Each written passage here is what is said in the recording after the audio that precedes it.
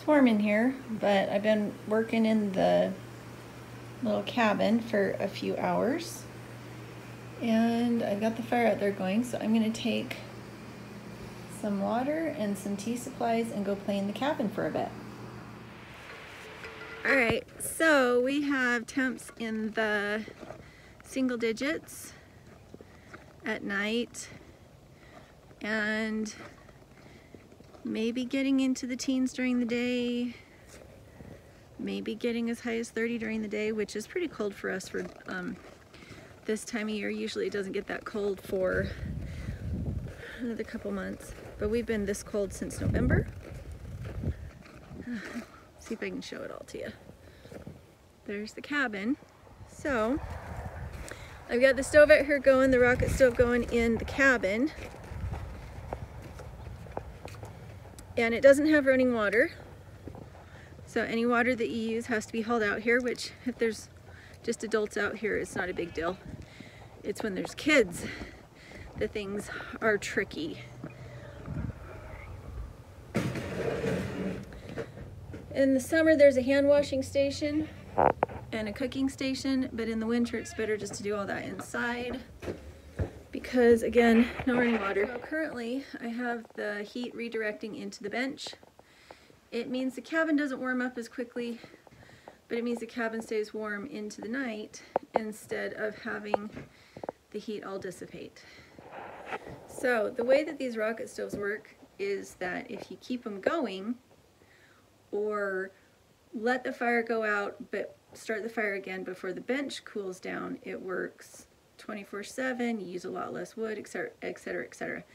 But the downside of the rocket stoves with the uh, mass attached is that if you let the fire go out, you have to heat the mass back up.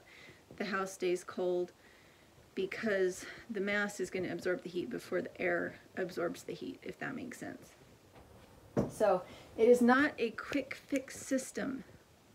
It is a system that requires finesse and presence. Somebody has to be here to feed the stove until the mass heats up. So today I am heating the mass. and I'm going to keep heating the mass until it's warm.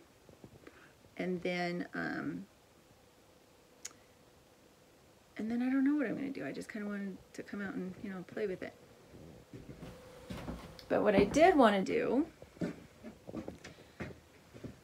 was I wanted to come in and make some tea while I'm waiting.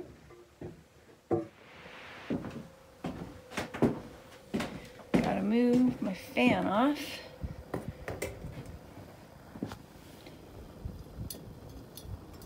For just a second.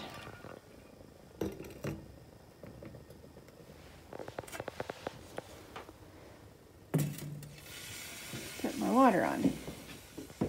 Try to be really careful to set this somewhere that the fan blade won't get damaged. There we go.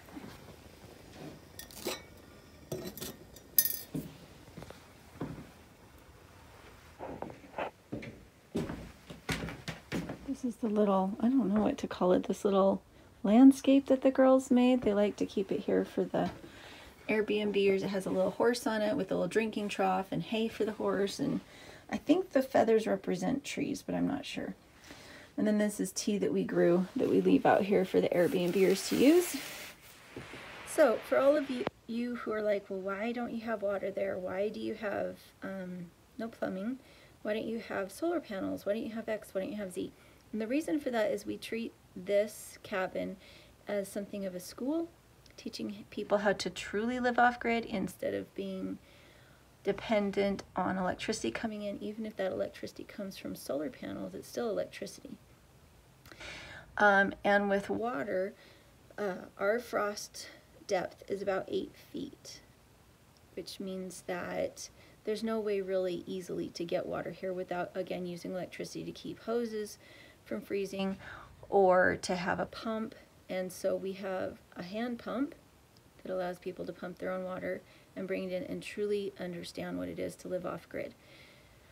Um, with pumping water, with lighting, with candles and oil lamps, and warming themselves with a wood burning stove. And for three summers, the girls and I lived in this cabin while we were irrigating and taking care of the animals for the renters. Um, and so we have lived in it, and that's why it's as comfortable as it is, is we found ways to make it comfortable for us. We weren't here in the winters. We, we left by Thanksgiving every year, and that was because of the roads. We, we spent this, the winters in Tulsa, Oklahoma. It wasn't because this wasn't bearable in winter. It was that the only reason we were here was to irrigate, take care of the animals when they were birthing, and to keep trees and things alive rather than relying on our renters to keep them alive. So we had to get through the pass from Idaho into um, whichever direction we went. We had to go through some mountains in order to get to Oklahoma for the winter when we were done irrigating, and we had to make it through before the real snow came through. So that's why we would leave in the winter. But we have good cold temperatures in November. We had freezing temperatures here in the cabin while we were still living in it in late summer. So we have experienced it ourselves. And that's the reason why we do all this is I think some people think, well, why not? I don't know. To me, it seems important to have a skill to know what it's like to live off grid without any conveniences at all. I, I think it's just a good skill to have, a good mindset to understand. Because it's cold in here, I'm going to move my tea into my cup and then go move the cup over by the fire just because putting hot water into a super cold cup means that it chills the water off and it doesn't set good tea.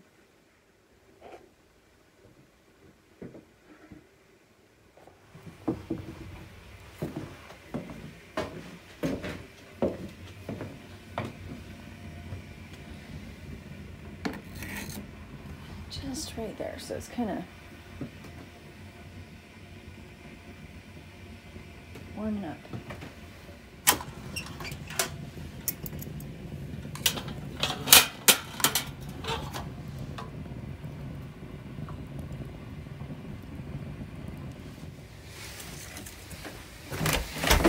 Just come fill up the wood box.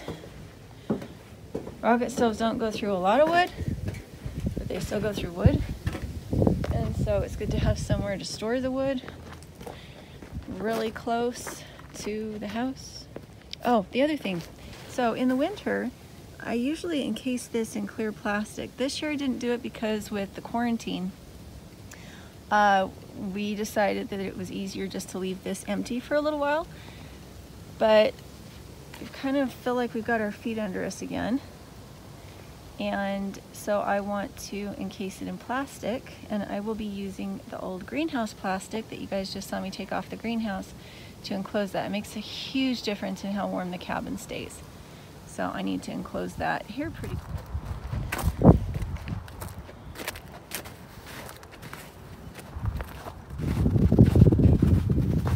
This is what a woodshed looks like when the kids are the ones who bring in the wood. So that kind of needs to be fixed up again, re-adulted. I'm gonna grab some wood in the meantime.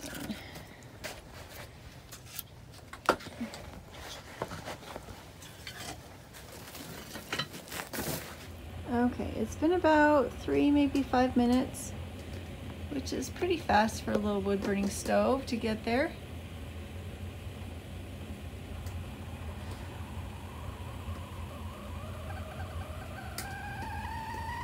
Okay. So I'm going to turn it so it's going back into the bench.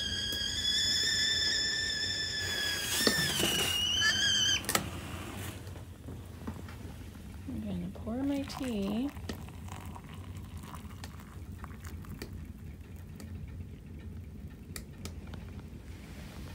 I'm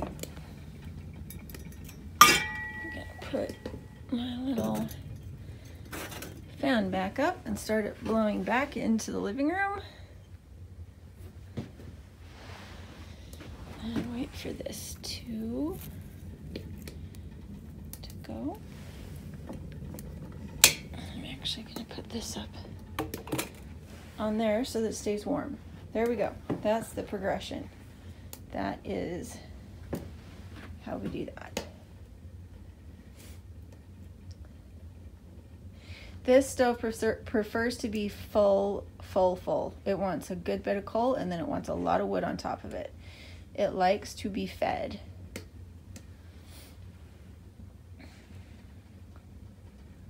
If you're charging something. Once you're once you're gravel Can you see that? Fire bricks and pebbles. Once this is charged, it's getting close. Once that's charged, once that in there is charged, um, you can let the fire go out if you want.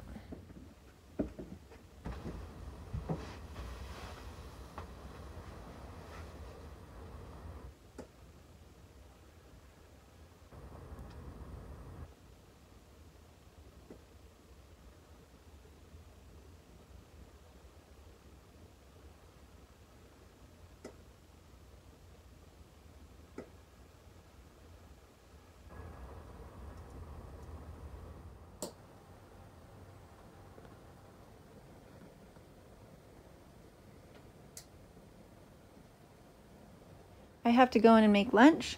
I'm perfectly content to leave this out here with the air vents open and a new login. It's very safe.